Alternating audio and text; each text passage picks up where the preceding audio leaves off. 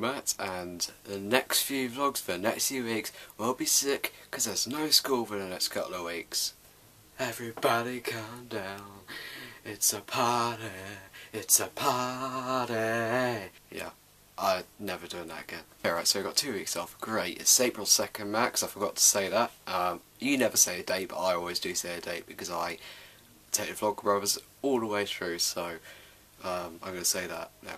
So it was the last day of the term today, and I'm 99% sure you knew that. Uh, uh, so, sick. Yes, um, the next few vlogs will be pretty decent, I think. Apart from this one, because I really thought a lot about it. Speaking of my videos, my punishment, uh, if my throat clears up, has been doubled. Because I haven't got it out in three weeks, so I'm now doubling my punishment. It will be out by the end of the Easter holidays uh, most likely be out like Saturday. I might go out tomorrow and try and find Shades Grey. I can't find it uh, in the library, but I'll try and find it in a charity shop somewhere. So it'll be out by Saturday, by the latest Wednesday. But by the latest, very latest, should be out by the end of these holidays. But I'll try and get it out earlier. It's been double now, I need to read 20 pages of of Grey, and I need to do two spoonfuls of cinnamon. Uh, so that's going to be pretty much murder for me. So Matt, I don't know if you've seen, but I've changed my Facebook profile picture now.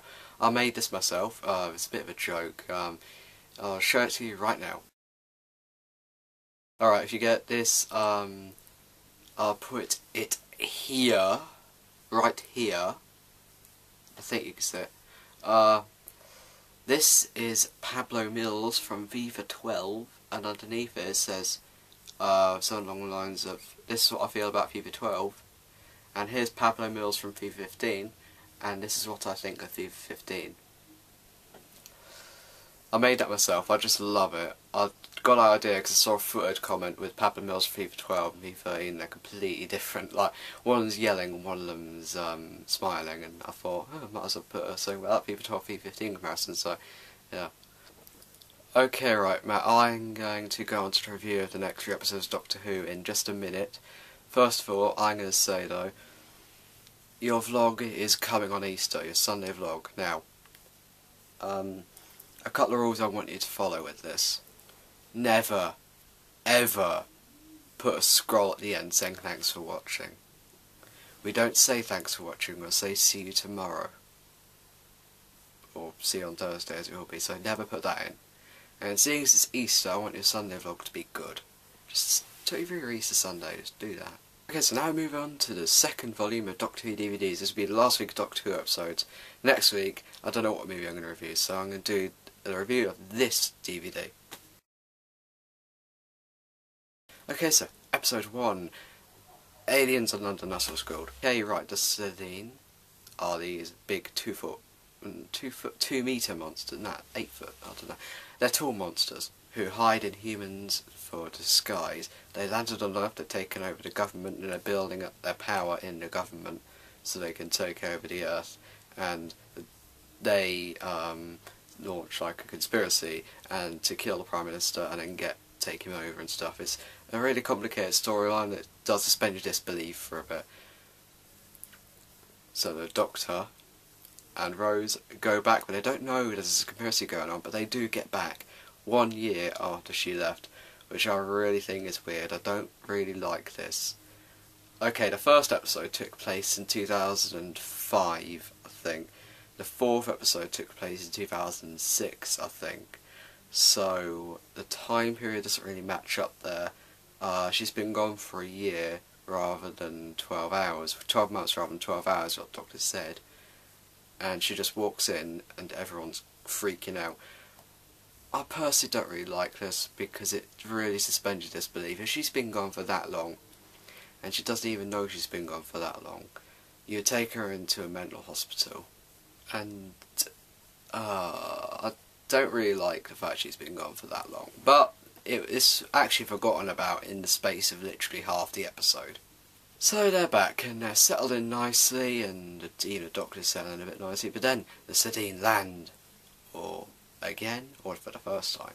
So there's this scene in which they blast through Big Ben and land in the River Thames. I love that scene. Um, it's a pretty iconic scene. And then the Doctor's brought in this thing, the Slitheen conspiracy, and then the government has been taken over by the Slitheen as well, from within, who hide inside human bodies, who have a weird comic relief of farting, which I hate. I used to love, but I hate it now. And there's a genuine threat then at the end, because there's the Doctor and Rose, um, who are both in danger, and Rose's mum is also in danger. It ends on a cliffhanger with Slitheen and stuff. Uh, yeah, it ends on a cliffhanger, the episode. I like the settling part. I might sound like I hate this episode, but I actually like them all settling in and all. There's a bit of comedy going on, and I like comedy and TV and this kind of stuff, just to take you out of it, but not child comedy like farting. I also like the Slitheen design. Um, I just, I just like it. It's, I don't know what about but I just like the Slitheen design and how they, you know, hide in the human bodies. That's pretty cool. So overall, apart from a few suspension disbelief fits, I would give this episode a six out of ten.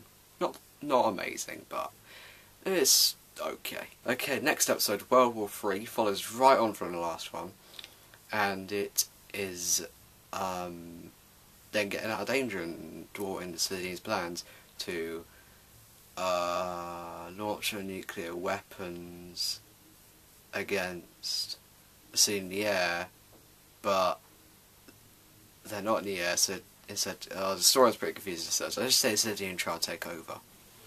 So Doctor tries to stop them, and he gets out of danger, Jackie gets out of danger, and so does Rose, and, uh, and they end up being stuck in his chamber for like half the episode, and then Rose's boyfriend Mickey needs to beat it all. I've already talked about him last week. Um, so he needs to launch nuclear missiles against Slitheen to Downing Street, and he succeeds. Um, no spoiler there, but nah. This episode's a lot less focused on child humour, there's a lot less fighting in this, which I like. Um, there's a genuine bit of tension in it because uh, the doctor talks to Rose well, saying she might not make it out of this alive, and for a kind of a comedy related episode last week, this week was pretty dark, you know. But it wasn't dark in the sense of The Unquiet Dead. It was actually, you know, tension stuff. There's also a one-on-one confrontation with Slitheen, with Jackie and um, and Mickey, and that was pretty cool, and how they defeated them. Bit child humour, but I still love it. Um, and there's still special disbelief, and why did the fat people take over the government? No one noticed that, and uh, I don't really get that either. There's still special disbelief, but it's a lot less prominent. There's a lot more action tension in this episode, which brings it up a rating. I'm going to give World War 3 a 7 out of 10. Quick review. Um, so now we're going to move on to the episode I was waiting for uh, 10 years ago, Dalek. It's called that, Dalek. It's like, uh, what can we think of? Hmm, the villain in the episode is a Dalek uh, what could we call it? Daleks are back, Dalek Rising, Dalek, uh, yeah, just Dalek. Uh, see, when you say Dalek enough times, I like garlic. So, uh, yeah, there's this Dalek being kept in the museum, the Doctor is going to the museum to investigate stuff. This happens in the, oh, by the way, this episode is set in the future.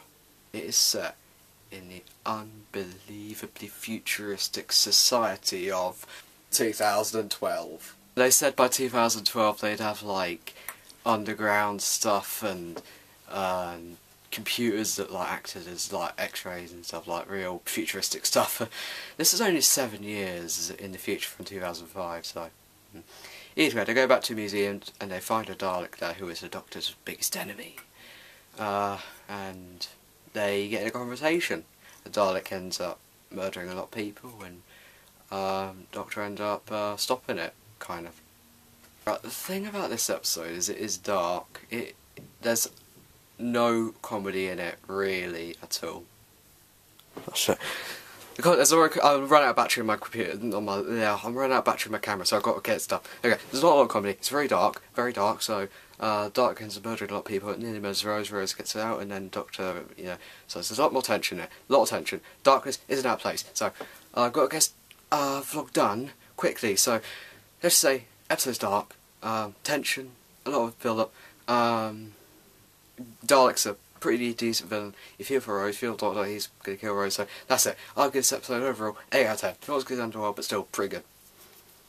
Okay, right, Matt. I need to get this done quickly, so I'll see you tomorrow. And in my vlog, Good Friday. See you then.